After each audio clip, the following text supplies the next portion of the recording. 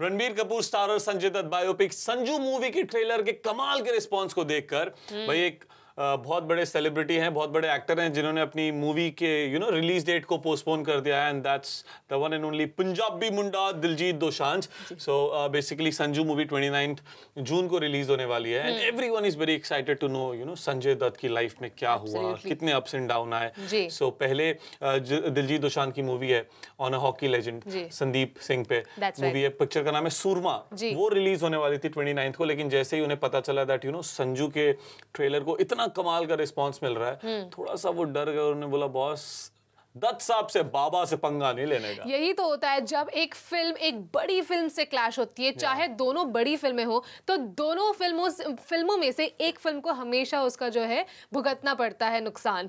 तो शायद ऐसा हो सकता है यहाँ पर कि उन्होंने पोस्टपोन की हो क्योंकि लाइक यू सेड संजू के लिए लोग बेसब्री से इंतज़ार कर रहे हैं। हो सकता है कि सुरमा मूवी को यू नो उसका थोड़े कम स्क्रीन्स मिलेंगे। बेसिकली डिस्ट्रीब्यूटर्स भी चूज़ करते हैं ना कि उन्हें थिएटर में किस मूवी को ज़्यादा ज़्यादा रन देने हैं ज़्यादा स्क्रीन किसे देनी है। तो obviously everyone is excited about you know Sanju movie and specially जिस जिस यू नो जिस लेवल का काम किया रणबीर कपूर ने पहली बार देख के तो लग ही नहीं रहा था कि रणबीर कपूर है। I literally thought Sanjay Dutt साहब सामने आ गए हैं। सो अब दिलजीत दोशांज की जो मूवी है सूरमा ये आएगी जुलाई में thirteen of July if not wrong और अब ये मूवी क्लैश होगी फन्ने खां से जिसमें है the very beautiful Aishwarya Rai and the jhakaas king mister Anil Kapoor और अब इनकी मूवी के साथ क्लैश होगी ये मूवी ऑल्दो ये भी एक बहुत बड़ी मूवी है but still i think uh, the producers of surma think that they can still compete with fanneka as compared to sanju. Right you know इसीलिए प्रोड्यूसर्स और डायरेक्टर्स जो हैं आजकल दो दो साल पहले की रिलीज़ डेट अनाउंस कर रहे हैं ताकि ऐसे क्लैशेस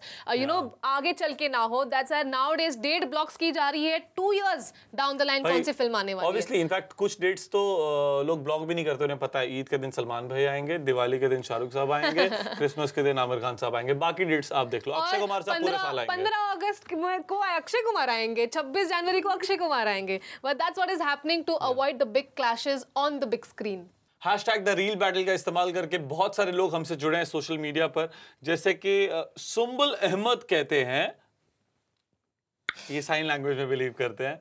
आई एम एथिस्ट उनका कहना डजेंट मैटर दोनों ही फ्लॉप है यार फन्ने का हम्म। भी फ्लॉप है इनकी नज़र में और सूरमा भी फ्लॉप है इनकी नज़र में। आपकी नज़र में हिट कौन सी आपकी पिक्चर जिसमें आप हीरो बनोगे।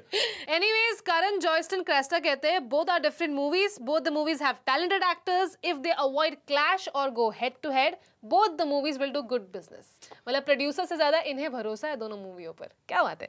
Junior Taapsee Pannu says they will surely go head to head hashtag the reel battle